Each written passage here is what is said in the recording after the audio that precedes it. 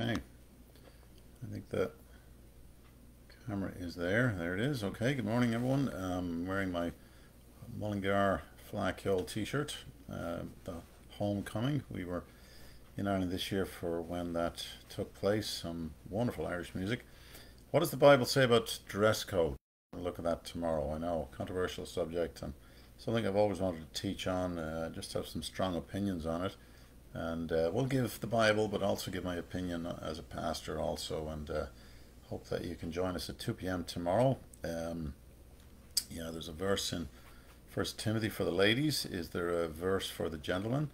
Uh, let's take a look at it. See what the Bible says. Okay, join me tomorrow, 2 p.m. Eastern Standard Time. Um, right here, we'll be on YouTube also. Okay, see you then.